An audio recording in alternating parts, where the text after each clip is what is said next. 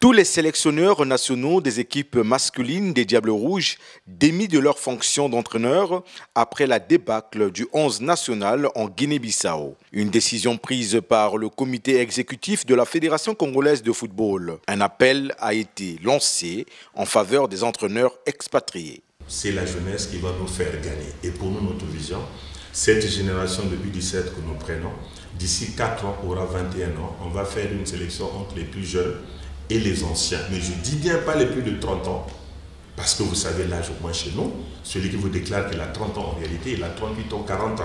C'est ça la réalité. Et donc on ne peut pas avoir les mêmes performances quand on a 22 ans, 23 ans, quand on a 40 ans.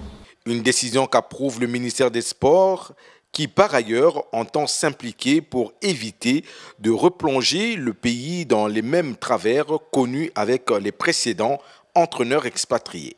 À un moment donné, ça tourne un peu à la mafia, euh, ces histoires d'entraîneurs qui arrivent et quelque temps après vous entraînent devant les tribunaux. Euh, le Congo a trop payé pour ça. Maintenant, il faut que ça change. On se mettra d'accord.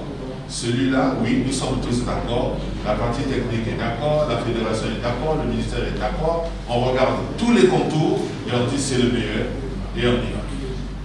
Le défi de la refondation de l'équipe nationale s'impose et doit se faire de fond en comble car le Congo participe aux éliminatoires de la Coupe du Monde 2022 fixée au mois de juin. Le 11 national affrontera dans le groupe H des équipes de taille, le Sénégal, le Togo et le Comore.